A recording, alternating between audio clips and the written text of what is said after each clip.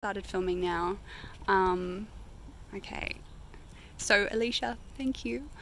Um, can you talk a little bit about this project that you're working on now, Encounter for Joy, and sort of um, what kind of brought you here, what the inspiration for was for the project was broadly? Sure.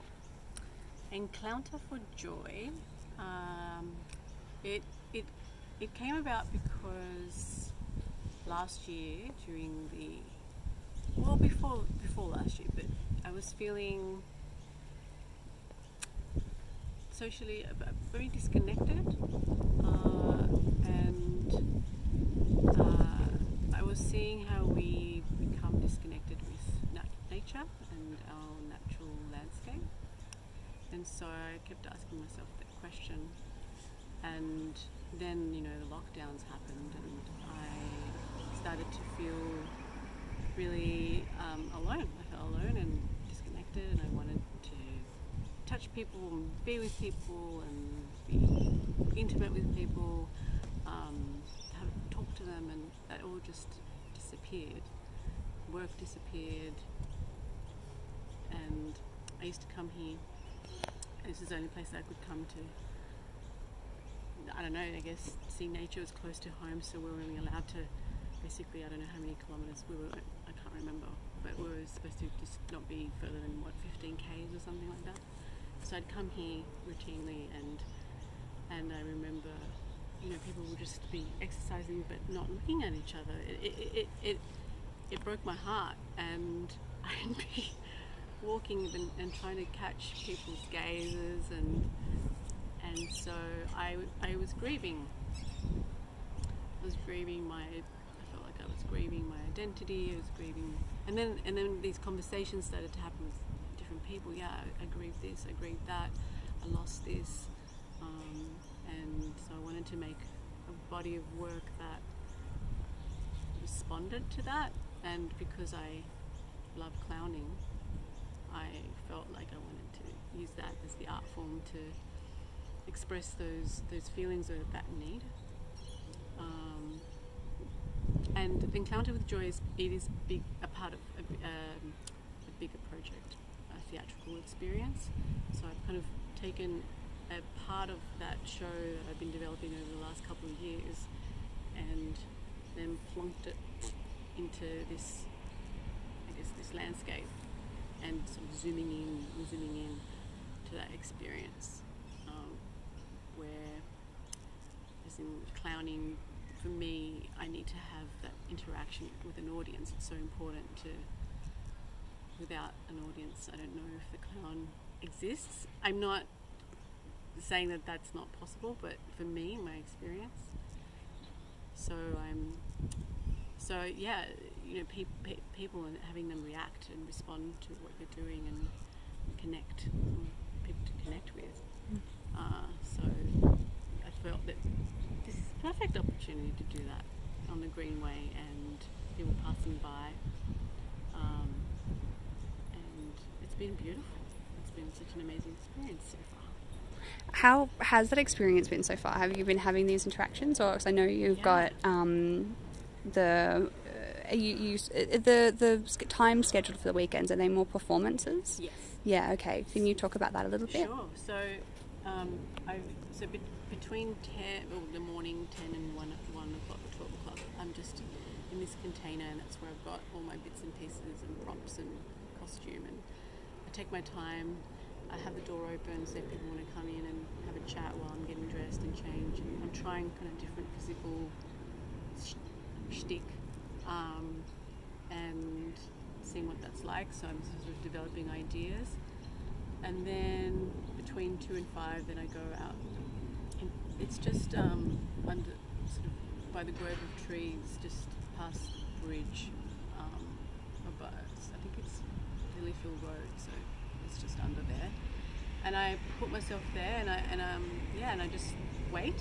Um, I don't impose myself. Uh, you know, as people are walking by, a lot of people have been curious. Sometimes, you know, there, there might be a of look um, I mean, I, am bereft. I look, I do look out of place. I have just kind of wild hair and you know, wearing black, and so people uh, have been curious.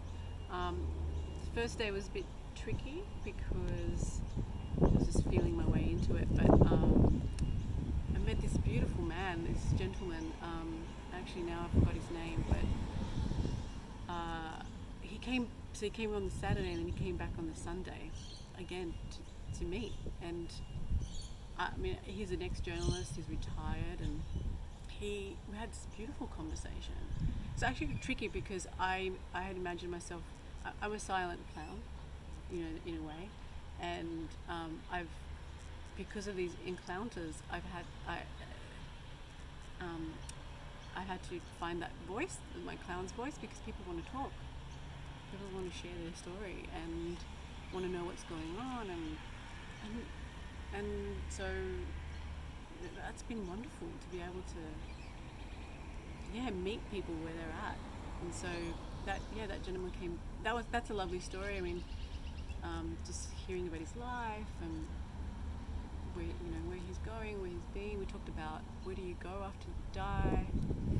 Um, these beautiful interesting questions that sometimes don't get raised. And you know i had my thoughts about it and he had his and they you know they were dissimilar but we still were able to connect and see each other for who we are.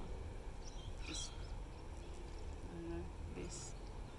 And so that was lovely. And this beautiful girl Lisa she came she's a dancer. And um, you know I ask there's a sign and I say hello and then I flip it and then it says you make me laugh. So I'm subverting the role of the clown. And um, immediately she just she was like all right yep why not? She grabbed the, the rope the, I had this velvet rope and she grabbed it and she and then she um, she trapped me and her, and her in it. So I was facing her like this. It was gorgeous. And all of a sudden we just had this encounter. We were there for I don't know how long just talking. While I was you know wrapped around this red velvet rope and it was beautiful and then we sat down and we had a long long conversation I don't know I mean I can't I lost time That's lovely. yeah Yeah. What amazing experiences you're having. lovely. yeah Yeah, it's really nice. Um, how? What do you? Uh, can you sort of um, talk me through how this? Uh, you say it's part of sort of a broader project. Um, maybe if you could sort of talk about this project in terms of how it relates to your broader sort of creative practice. Yeah, um, well, it's a, it's a the idea is a th- it's a theatrical, it's a show, theatre for on the stage. Um, its working title is um, "She Looked Really Happy," and um, it is about a woman who lost joy.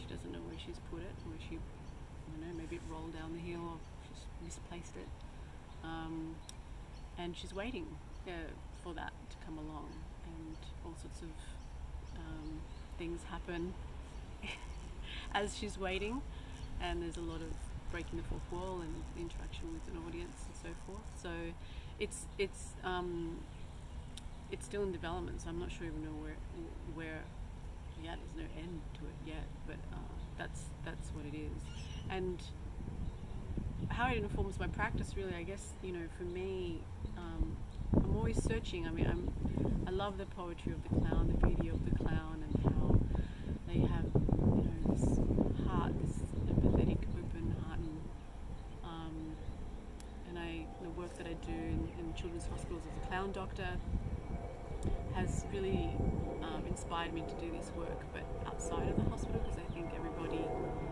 needs healing and love and laughter and connection. So it's it's kind of yeah, I guess it's it's part of that. It's part of just my interest in sharing that. Mm.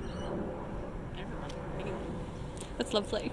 Yeah, I think you're you're right. I mean, we do the, the the healing factor is something that's not just inside of hospitals, unfortunately. Yeah. I mean, my dream is to, to be able to do this in workplaces and you know prisons. I don't know wherever, like wherever they let me in. Mm. I was reading when I was um, reading the information about uh, your project here. Yes. Um, it was sort of describing that you, um, you know, are yeah, having these encounters with people and kind of um, showing them what, or those sort of workshops where you're sort of uh, helping people kind of learn some of this sort of approach? Yeah, yeah. So I, I mean, my joy is teaching. I love coaching and teaching. So that's also part of it, sharing the, um, the skills and the, the benefits that come with clowning. You know, I don't, I don't necessarily do it. I don't think I do it for therapeutic reasons, but a lot of people do. Um, so there will be a workshop um, here on Saturday, the 8th of May. 10 to 1, it's free. Um, you don't have to have any experience, just come along and people um, 12 and up. So you can come along with your son or daughter or cousin or granddaughter, whatever you want, um, sister. And yeah, we'll just be playing in nature and how the clown um, responds to everyday phenomena and how that might inspire the way that you see the world and play with the world. Uh, so you can be inspired by sounds and sensorially, like touch or whatever it is, and how then you might be able to use it theatrically or in your everyday life. So it's not just for performance; it's for anyone who's interested, Mm. But we don't, we don't, we're not going to go too much into um, the the, tech, the technical aspects of it. It's more just about how to how to create laughter and moments of play in your everyday life.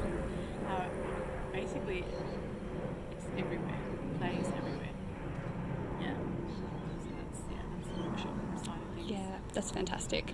Um, yeah, I really enjoy as well that um, engagement with, with sort of physicality and play, and then with, with place, with working with where you are. Absolutely. Yeah, I really I mean, appreciate I- that. My, my yeah, my um, my philosophy is really about the body, telling the story, and how using our body we can find that creativity and and let your audience have that, that the the moment, the emotional moment. So we're not posing you know, we're just creating with the body.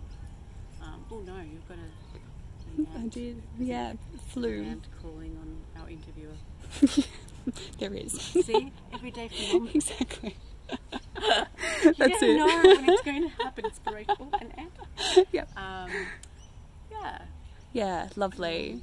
Okay, and um, so you're saying that this um, is part of a, a theatrical performance that you have. Is that where you see this current residency working towards? Do you have other intentions of where you want to be um, building this further? Um, yes, to the first one, I, hope that I can develop um, material. So this is my way of also developing material um, to put into the show. Great. Um, yeah, so that's, and I don't have a date for when that show will be because I'm being um, reserved. I'm, I'm just, I'm waiting for, I'm just seeing how things go this year. So I'm not locking anything in, but um, hopefully maybe next year.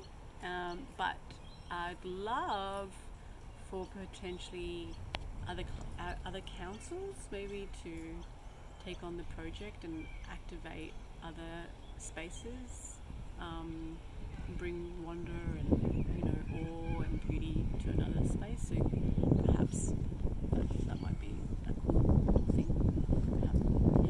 Yeah, love it. Um, okay, great. Thank you for all of this. Is there anything that you else that you want to sort of be able to convey about what you're doing here that we haven't already talked about? Um, no, I guess just pausing, pausing and, and having a moment to just be and you know connect with artists and nature, and I think that's if anything that's what I've really loved about this project, Edge Greenway, just to have this opportunity to to do that in a calm, relaxed way where there's no pressure. And that, that I would say the same thing for the community who are here and people who are working or doing fitness. It's, it's just come along and you know just meet us. We don't bite.